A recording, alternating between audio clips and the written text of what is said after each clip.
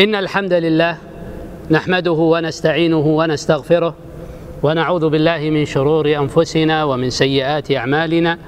من يهده الله فلا مضل له ومن يضلل فلا هادي له. وأشهد أن لا إله إلا الله وحده لا شريك له. وأشهد أن محمدا عبده ورسوله. أما بعد فنحن نبدأ في يوم الخميس. في هذا اليوم نبدأ إن شاء الله في دراسة أخصر المختصرات على مذهب الإمام أحمد رحمه الله. وهذا الكتاب هو أقل متن وجد في فقه الحنابلة في ذلك العصر لأن المؤلف رحمه الله كان له كتاب سماه باسم كاف المبتدي ثم اختصر هذا الكتاب من ذاك الكتاب وسماه بأخصر المختصرات لأنه لم يجد أقل منه عددا في الحروف وفي الحجم حسب ما زعم المؤلف رحمه الله.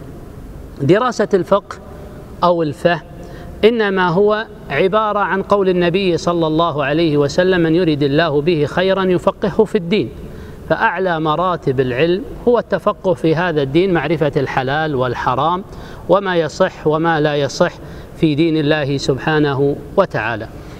الله سبحانه وتعالى سهل لهذه الأمة من جمعها على أربعة مذاهب وإنما خصت بهذا الأمر كما خصها الله سبحانه وتعالى أن جمعها على حرف واحد من المصحف الشريف.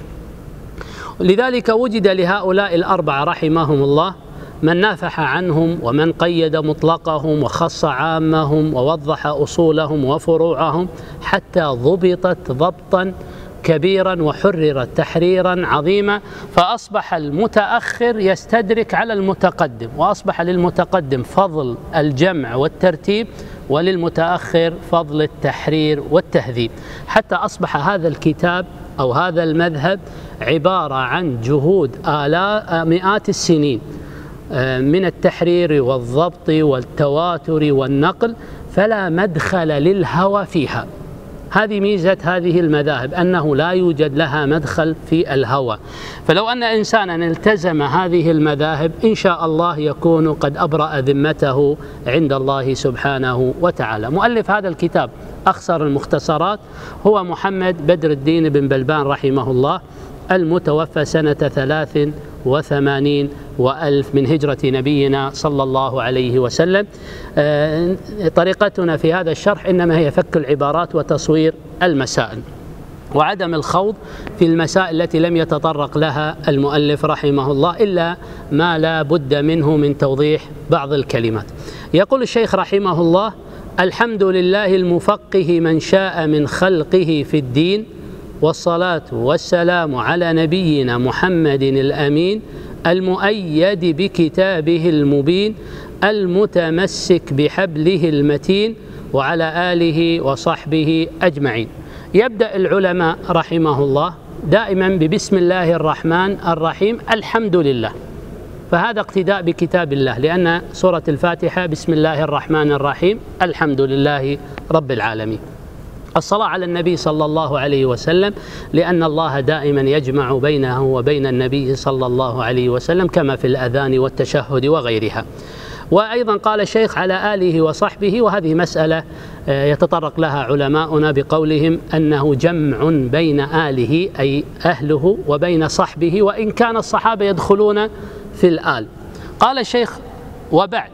فقد سنح بخلدي أن أختصر كتاب المسمى بكاف المبتدي الكائن في فقه الإمام أحمد بن حنبل الصابر لحكم الملك المبدي. دائما العلماء يذكرون أحمد بن حنبل مع محنة فتنة خلق القرآن. لذلك سمي بالصديق الثاني رضي الله عنه. يقول الشيخ ليقرب تناوله على المبتدئ. دائما علماؤنا يؤلفون إما لل للذين يصلون المنتهي يسمونه المنتهي أو يؤلفون للمبتدئ وغالبا التأليف للمبتدئ هي لكي يتدرب ولكي ينطلق في هذا الباب بطريقة سهلة وتدرج ميسور. لما يأتي إنسان منا يريد أن يبسط للمبتدئ ما لا يحسن إلا للمنتهي فهو قد ظلم أحدهما. والتدرج في العلم سمة من سمات علمائنا رحمهم الله ومن أشهر علماء مذهبنا وهو ابن قدامة رحمه الله ألف كتاب عمدة الفقه على رواية واحدة ثم صعد المقنع ثم صعد الكافي ثم صعد إلى المغني وهو في الخلاف العالي. وهذه إنما هي الهدف منها التدريب. وهذا شيء معروف حتى في كل شيء.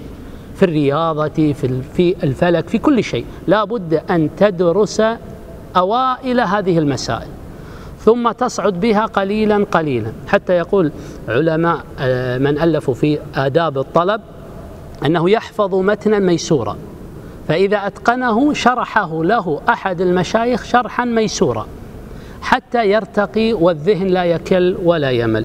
يقول الشيخ رحمه الله ويسهل حفظه على الراغبين. إذا عندي مبتدي وعندي راغب.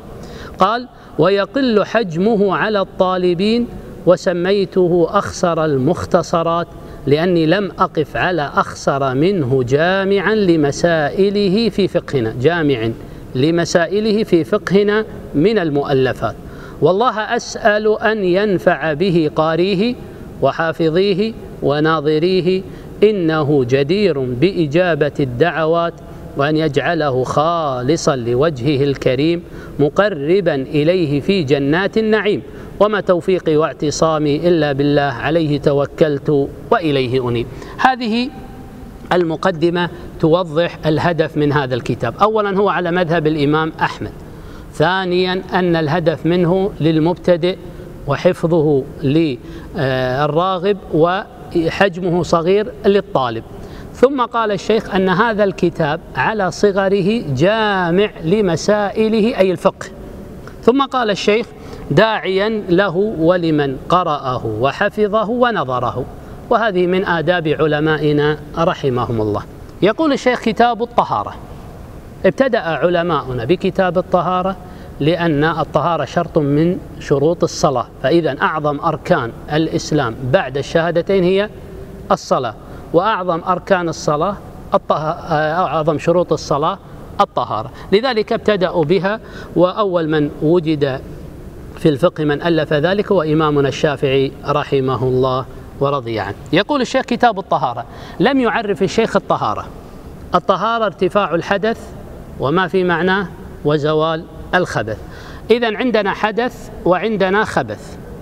هي من النظرة الأولى الحدث شيء معنوي والخبث شيء حسي. فلذلك اختار للمعنوي الارتفاع واختاروا للحسي الزوال ليتناسب بينهما. وإلا فالارتفاع هو نفسه الزوال. قال الشيخ رحمه الله المياه ثلاثة. في باب المتون في باب المتون ذكر العدد الهدف منه الحصر. ذكر العدد الهدف منه الحصر. يعني الشيخ كان يستطيع أن يقول المياه طهور وطاهر ونجس. فلعل إنسان يدخل فيقول لعل هناك رابع أو ما شابه ذلك. فهو يريد حسم المادة حتى لا تبحث عن آخر فقال المياه ثلاثة الأول طهور وهو الباقي على خلقته. هذا تعريف الماء الطهور هو الباقي على خلقته. لماذا؟ لأن عندنا الماء ماء البحر مالح وقد يكون فيه رائحة. وعندنا بعض الأنهار قد تكون بسبب ما تجري عليه من كبريت أو ما شابه ذلك يتغير بعض لونها. فلذلك هو أو ينزل المطر متأثرا ببعض عوامل هذه الجو فنقول هكذا خلق إذا هو طهور. هكذا خلق. هذا آه، حسا. أما حكما فإذا تغير كما سيأتي الآن يقول ومنه مكروه كمتغير بغير ممازج عندنا آه، الماء الأصل فيه أنه منفرد بنفسه لأنه جوهر لا يشبه باقي المائعات. لكن قد يدخل عليه بعض المواد لكنها لا تمازجه بمعنى لا تدخل في جزئياته مثل الدهن. الدهن الآن لو سكبته على الماء تجده موجودا في الماء لكنه غير مختلط به. فهذا تغير لكن بغير ممازج. عندنا في المذهب يكره استعماله إذا لم يجد إذا وجد غيره يكره استعماله إما إذا لم يجد غيره فلا يكره.